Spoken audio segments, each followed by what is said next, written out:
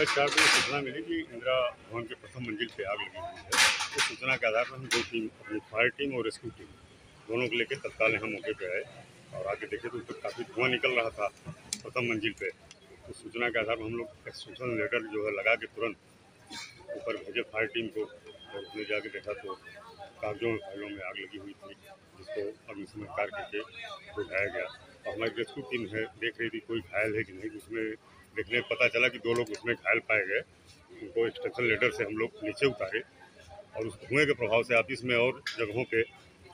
चार लोग और घायल थे। उनको हम लोग अंदर की सीढ़ी से लेके बाहर निकाले और सकुशल जो है हम लोग छः लोगों को बचाए।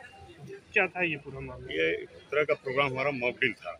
ये अग्निशमन सेवा सप्ताह के अंतर्गत जो है कि हम लोग मॉकड्रिल का कार्यक्रम कर रहे हैं जो पुलिस महानिदेशक फायर सर्विस महोदय के निर्देशानुसार पूरे प्रदेश में चलाया जा रहा है उसी निर्देश के क्रम में हम लोग आज जो है इंदिरा भवन में मॉकड्रिल का कार्य किया क्या उद्देश्य है इसका? इसका उद्देश्य ये है कि लोगों को अग्निशमन सुरक्षा के उपाय को बताना आग से बचाव के सभी तरीके उनको मालूम होने चाहिए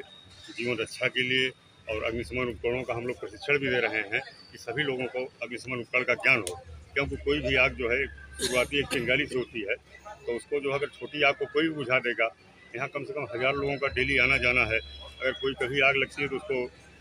बुझा देंगे तो आग बड़ी नहीं होगी। इसमें एक दो बार आग लग भी चुकी है, जिसको हम लोग अग्निशमन कार्य करके पूरी तरह से बुझाए। इसमें सभी लोगों को हम लोग जागरूक किए और यहाँ की जो फायर टीम है,